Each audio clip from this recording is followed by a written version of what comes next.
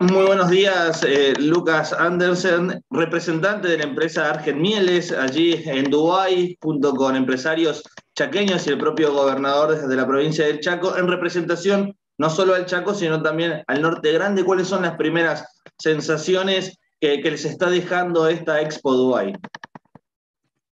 la Expo es impresionante. Estamos justo en este momento en la exposición, vinimos a hacer una actividad en el domo principal de Argentina, hizo un show de tango y folclore, y después fuimos a conocer junto con los gobernadores el pabellón argentino, que es, hermoso y tiene una pantalla 360 también muy tecnológica. Y no, bueno, estas ferias son, son impresionantes, parecen de otro planeta porque invierten mucho dinero en los stands, en la tecnología, en mostrar toda la innovación particularmente esta feria, estas ferias mundiales se hacen cada cinco años, se elige una ciudad sede y esta creo que era, son economías, eh, tiene que ver con el tema del reciclado, economías, eh, eh, economías y, prácticas en, sentidos sustentables y, tecnologías de comunicación, así que hay mucho, mucha cuestión tecnológica, de innovación, de luces y bueno, nada, nada son, son, ferias que son impresionantes. Espero que puedan ver las imágenes cuando, cuando les llegue, son, son cosas de otro planeta, parece.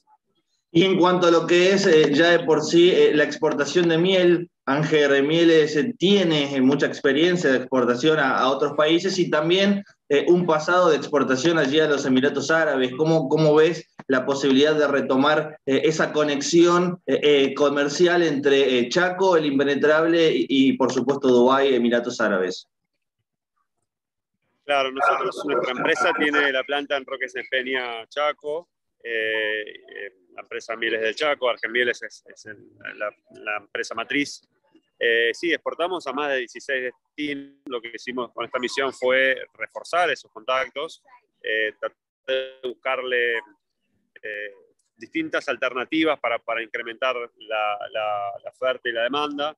Y a su vez vinimos a esta misión buscando establecer alguna sociedad o algún trabajo colaborativo con empresas que brindan servicios de logística, porque creemos que a este mercado hay que llegar con un enfoque de todo, por ahí tener eh, mercadería acá en destino para poder transportar desde Dubái o desde los Emiratos a otros destinos en el Golfo. Bueno, estuvimos explorando todo lo que serían las nuevas mecánicas de comercialización. Eh, estamos en tratativas con una empresa que hace, eh, conecta, conecta empresas con empresas del mundo a través de de un portal digital. Bueno, en, ese, en esa tarea estuvimos en estos días. Fueron reuniones muy, muy interesantes eh, que como privado no habíamos podido lograr. Por eso eh, estamos muy agradecidos a la, invitación del Estado y que haya realizado estas misiones con estos grupos.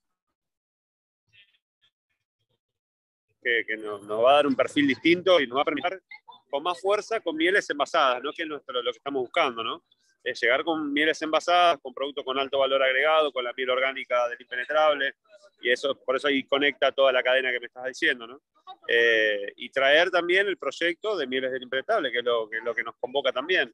El impenetrable, las mieles orgánicas, que es un proyecto de hace cinco años que venimos trabajando, viene creciendo en el año, cada día tenemos más destinos para exportar, y bueno, hay que incentivarlo, fue el objetivo de la misión. Para que la gente eh, eh, sepa, entienda eh, de qué se trata o a qué se hace referencia cuando se habla de miel orgánica y cuál es la importancia de tenerlos en nuestro propio suelo en el impenetrable chaqueño.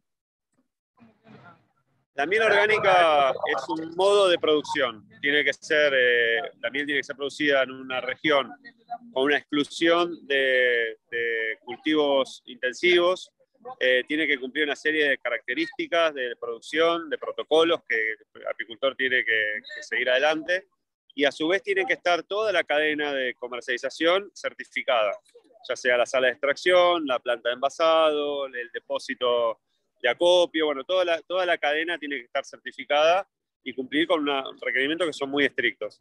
Eh, el Chaco tiene la ventaja de que tiene un área que es eh, ideal para producir eh, eh, miel orgánica. ¿no? O sea, en otras regiones de la Argentina se producen, pero a menor escala, porque siempre el desmonte corre la frontera de los bosques nativos y las hace cada vez más chicos. El Chaco tiene una, superficie enorme de bosque nativo que se puede crecer eh, había escuchado, eran 3 y algo de millones de hectáreas y solo se explota el 20%, por lo cual se puede seguir creciendo muchísimo más todavía. Y esa miel orgánica, ese proyecto orgánico que, empezamos hace ya cinco años, empezaron los productores con, con, el gobierno, con la colaboración y la articulación del gobierno, y nosotros como privados, bueno, ya, ya lleva eh, varios años exportando a los mercados elite, mercados premium como Francia, Alemania, Japón, bueno, a estos mercados Medio Oriente. Así que seguimos creciendo y por suerte nos siguen acompañando cada vez más apicultores, así que seguimos creciendo en, producción y en destinos, así que es una, es una industria que, tiene muchísimo potencial.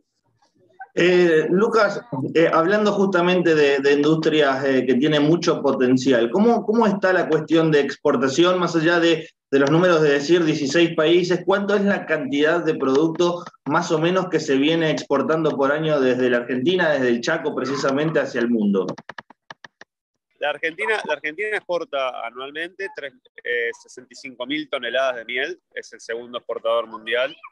Eh, el Chaco produce eh, algo así como 6 mil toneladas de miel orgánicas, produce unas 400 toneladas lo cual nosotros exportamos esas 400. Nosotros como compañía exportamos 3.500 toneladas. Y bueno, el mercado de la miel es, muy demandado. Eh. Realmente el mercado de la miel no... Eh, todos los años viene incrementando la demanda. Eh, después de la pandemia, durante la pandemia, la, demanda se duplicó. Digamos, hay, hay una demanda muy, muy interesante. a veces los precios acompañan, no acompañan, pero bueno, estamos justo en una, en, un periodo donde hay unos precios realmente buenos para trabajar. Eh, pero lo que nos convoca es la miel orgánica, porque eso es un nicho distinto de la comercialización del commodity miel, eh, es un mercado más de nicho.